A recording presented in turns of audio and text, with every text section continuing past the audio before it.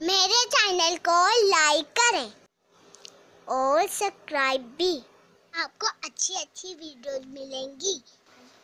Thank you असलकुम आज मैं आपसे skin whitening home remedy share करूँगी, जिसके बाद आपको सैलॉन जाने की ज़रूरत नहीं पड़ेगी, because who wants to spend money on salon, not me.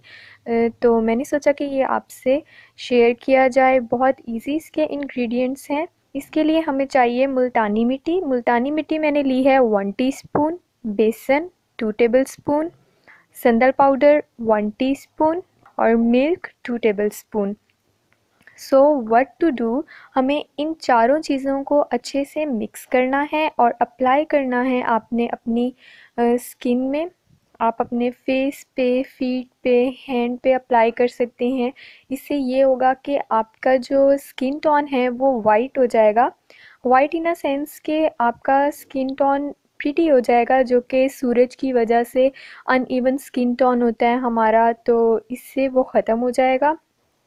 और बहुत इजी रेमेडी है ये। Now then apply it on your hands feet and face let it dry for few minutes जैसे ही ये ड्राई हो जाएगा तो आपने इसे रब करना है। रब करने से ये होगा कि जो हमारे डेड सेल्स होते हैं स्किन के, वो बहुत इजीली रिमूव हो जाते हैं और इसका बहुत परफेक्ट रिज़ल्ट आता है। और ये आप डेली बेसिस पे भी यूज़ कर सकते हैं। देन यू कैन सी के कितने अमेजिंग रिजल्ट्स हैं इसके। अब हम मिलेंगे न्यू वीडियो में। तब तक के लिए अल्लाह हाफिज़। Take care